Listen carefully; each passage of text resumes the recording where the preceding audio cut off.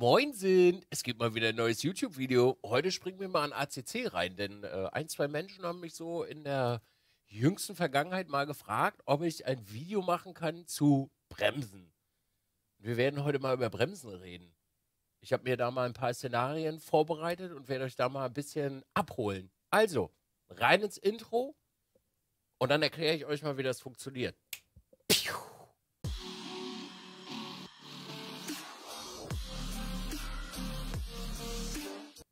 Da sind wir wieder. Ich habe das heute mal ein bisschen untergliedert in zwei, drei Szenarien mit witzigen Namen, weil für mich persönlich ist es immer einfacher, mir das zu merken, wenn das witzige Namen hat. Aber kommen wir doch einfach erstmal zur Theorie, zur blanken Theorie. Was ist denn nun eigentlich Bremsen? Bremsen bedeutet, dass du dein Auto von Geschwindigkeit X auf Null kriegst. Und dazu gibt es so einen wunderschönen Begriff, der im Rennsport eine Rolle spielt und der nennt sich Trailbreaken. Und Trailbreaken bedeutet einfach, dass du dich in die Kurve reinbremst und anhand von physikalischen Gegebenheiten, die dort mit reinspielen, du das Auto auch in der Kurve bremsen kannst. Und hier kommt die blanke Theorie dazu. Es bedeutet so viel wie, je weniger du bremst, desto mehr kannst du lenken.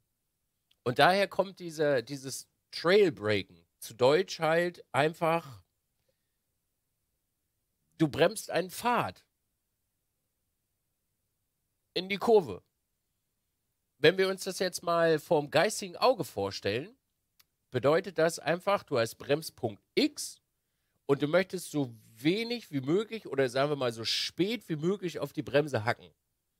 Das heißt ja in der Theorie, und das werden einige von euch sicherlich schon mal kennengelernt haben, wenn du die Bremspunkte nimmst von Menschen, die etwas schneller fahren und du das selber versuchst, dann funktioniert das meistens nicht, weil dir das Auto sonst wohin fliegt. Und hier gibt es einen kleinen Trick. Wenn du nun also auf die Kurve zufährst und du fängst dort an zu bremsen, wo die anderen anfangen zu bremsen, dann musst du auf dem Weg zum Scheitelpunkt einfach von der Bremse langsam runtergehen. Das Auto wird dann immer noch langsamer und auch ausreichend langsamer, aber du gewinnst die Kontrolle über das Auto wieder, wenn du von der Bremse runtergehst. Dazu gibt es ein sehr schönes Szenario, was ich dir jetzt gerne zeigen möchte. Wenn du nun also hier auf dem Nürburgring auf T1 zufährst, wir machen das mal schnell. Hast du hier die erste Kurve, dann kommt die zweite Kurve und in der dritten Kurve kann man das sehr schön sehen bzw. auch merken. Wenn du jetzt also nach hier unten runterfährst, kannst du den äh, Bremsweg immens verkürzen, indem du Trail breakst. Du wirst aber auch sehr schnell feststellen, weil die Kurve etwas äh, geschwungener ist, dass wenn du sehr, sehr viel auf der Bremse stehst, das Auto blockiert und nicht wirklich einlenkt. Das heißt, wir gucken uns das mal kurz an. Du trittst nun also hier auf die Bremse und dann ist bei mir jetzt hier gerade bis zur Hälfte runter. Das hat folgende Bewandtnis. Wenn ich hier voll auf der Bremse stehe, fällt das Auto nicht in die Kurve rein. Also es macht keine Bewegung und Murren nach links. Wenn du die Bremse löst, dann merkst du, wie das Auto richtig schön nach links in die Kurve reingleitet. Und an der Stelle würde ich euch immer pro, äh, empfehlen, das mal auszuprobieren. Hier einfach auf die Kurve mal zuzufahren und richtig reinzustempeln und das Auto versuchen, in die Kurve reinzukriegen. Das funktioniert nicht, weil das Auto einfach sich dagegen wehrt, durch das Bremsen nach links zu gehen. Deswegen ist es hier hilfreich, kurz anbremsen, von der Bremse runtergehen und dann kann man sich hier reinfallen lassen. Und dann läuft das Auto von ganz alleine um die Kurve ganz smooth. Das ist jetzt natürlich in der Theorie immer super einfach gesagt. Ne? Also, wenn euch Leute erzählen, die schon sehr, sehr lange im Auto sitzen, das ist ganz einfach, ist es auch. Nur bei den Menschen ist es schon so automatisiert im Körper drin, dass sie gar nicht merken, wie schwer das ist, sich das beizubringen. Also der gute Nils von äh, Unicorns of Love hat mir da mal einen sehr, sehr schönen Tipp gegeben. Und da gibt es eine kleine Übung zu. Und die würde ich euch jetzt auch kurz mal zeigen. Wenn du nun also in der Box stehst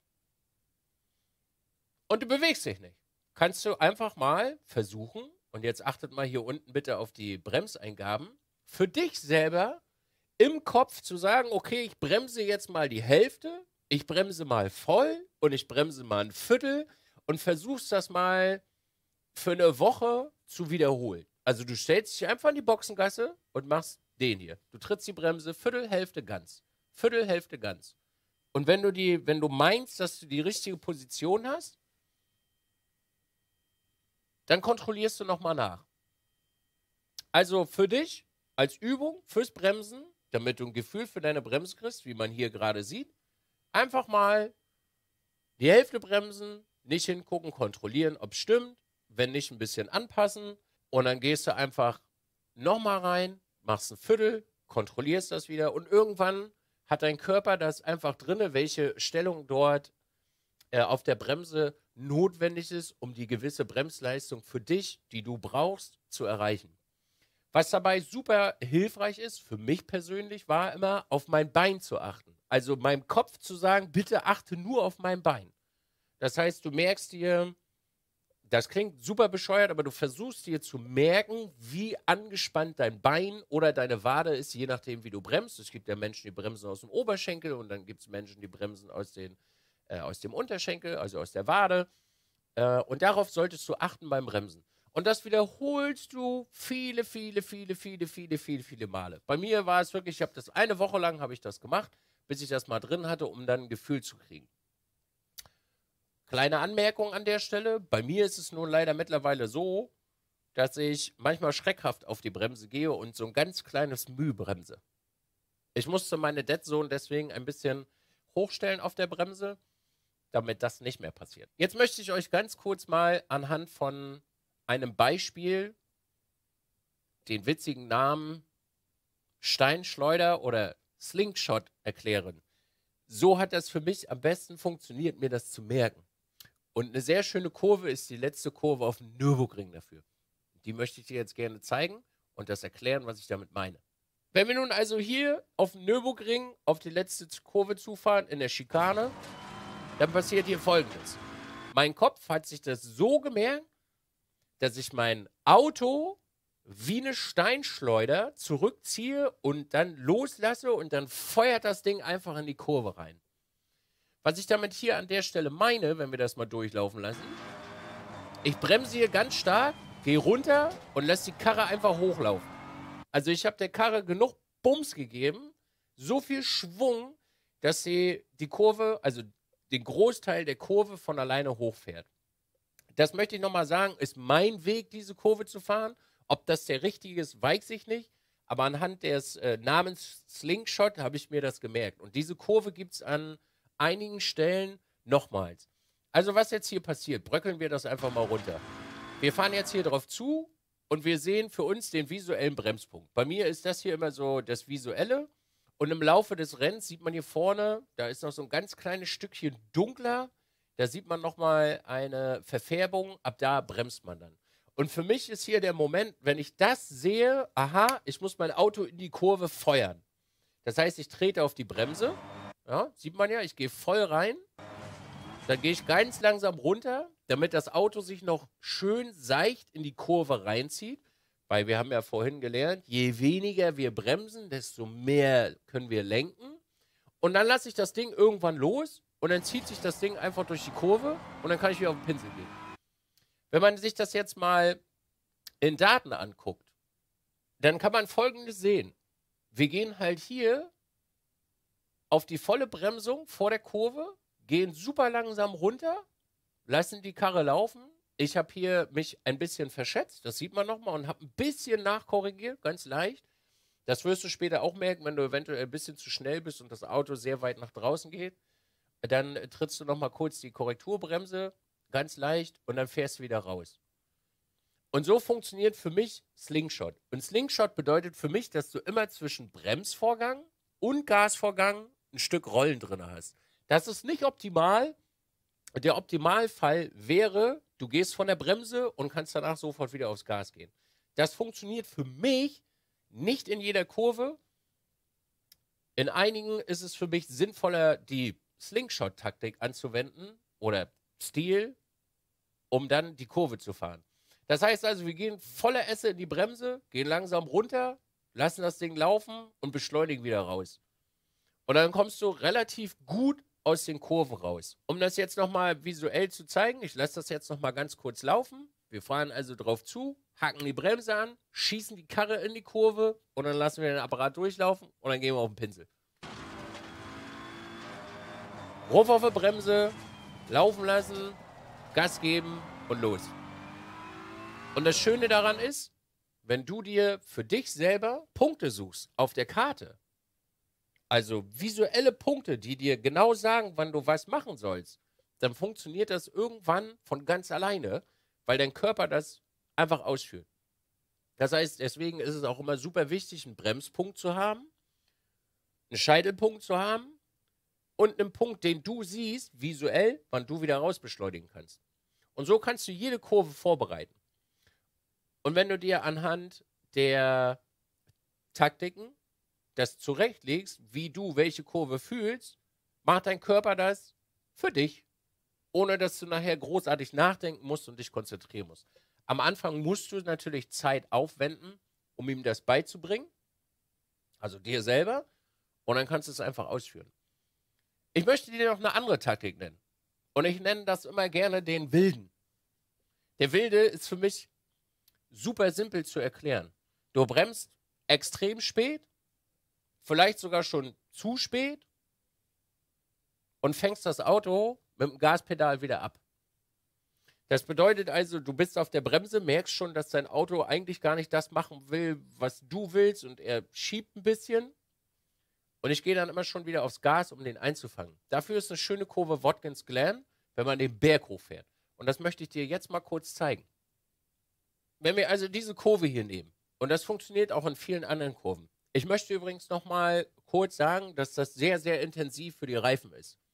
Und ich würde es nicht empfehlen, sowas in einem Endurance-Rennen zu machen, weil dadurch machst du die Reifen schon sehr extrem kaputt.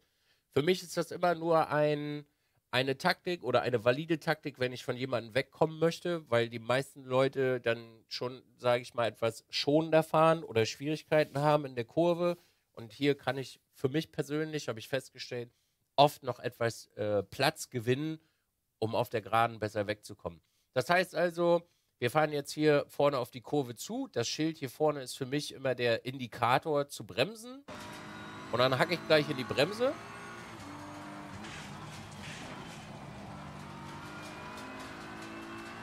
Und wie man gesehen hat, und das ist in der Theorie sogar der Optimalfall, ich bin runtergegangen von der Bremse und ich bin sofort wieder auf dem Gaspedal.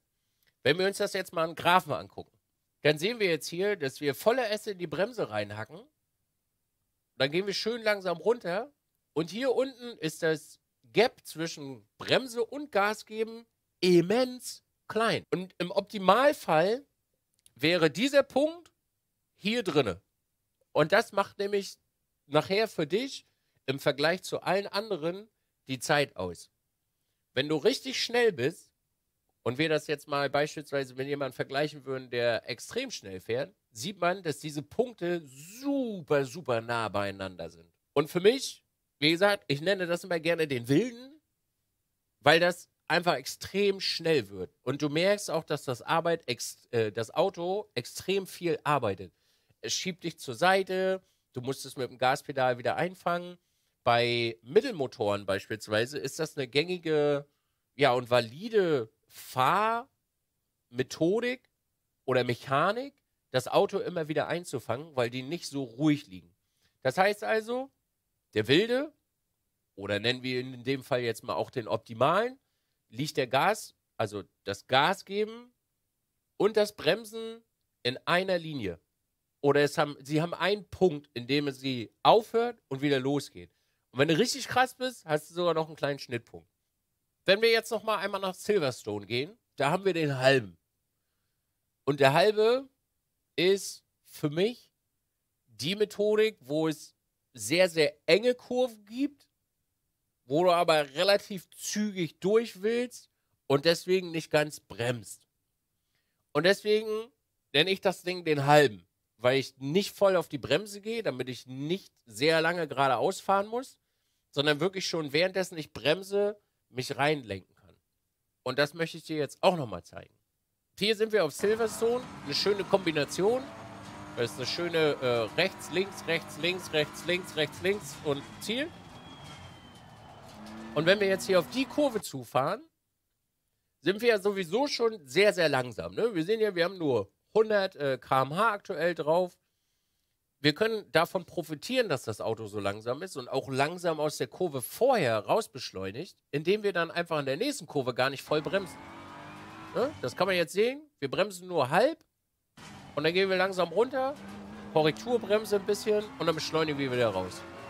Das heißt, es ist in dieser Kurve überhaupt nicht notwendig, voll zu bremsen. Wir können mit der Hälfte der Bremse dort rangehen, also der halbe, und uns in die Kurve reinfallen lassen. Das heißt also, nur schleifen lassen, ich nenne das auch gerne schleifen lassen, nur schleifen lassen, Kurve reinfallen lassen, Gas geben und raus den Lachs. Und das funktioniert in vielen, vielen Kurven. Das heißt, wenn du diese drei Kurven oder diese drei, ich nenne es jetzt mal Mechaniken für dich annimmst, kannst du die größtenteils auf die meisten Kurven anwenden. Also fassen wir das nochmal am Ende ganz, ganz kurz zusammen. Wenn du also Probleme beim Bremsen hast, dann bremse nicht zu lange auf 100% geradeaus, weil Auto lässt sich nicht bewegen und will einfach nur geradeaus. Es lenkt sich nicht rein. Versuche dich ein paar Tage hinzusetzen und einzuspeichern in deinen Körper, wo und wann und welche Bremsleistung du erreichst mit der Stellung deines Beines oder Anspannung des Muskels bzw. Wade und trainiere das für dich etwas. Und dann nimmst du dir jede Strecke und versuchst in deinem Kopf zu visualisieren, wie du diese Kurve fahren möchtest. Das heißt, du nimmst dir jetzt beispielsweise den Nürburgring und stellst dir vor, wo ist der Scheitelpunkt, in welcher Kurve und wie würde ich dort optimal durchkommen. Und wenn du die ersten Schritte gemacht hast und dir das eingespeichert hast und dann das siehst, was vor deinem geistigen Auge dort passiert, wird es irgendwann für dich super simpel sein, neue Strecken zu lernen, vernünftig zu bremsen und schneller zu werden. Also ich wünsche dir jetzt super viel Spaß äh, beim Lernen. Falls ich was vergessen haben sollte oder etwas erklärt haben sollte, was du nicht verstanden hast, dann stell doch einfach eine Frage unten in die Kommentare und dann kann ich das Ganze nochmal aufgreifen und das eventuell etwas besser und einfacher versuchen, dir zu erklären. Was du jetzt machst, ist dich hinsetzen und das Ganze ein bisschen üben und sehr viel Spaß dabei haben. Nochmal ein kleiner Disclaimer. Ich habe das versucht mit meinen eigenen Worten zu erklären. Bin natürlich auch nicht der schnellste Fahrer.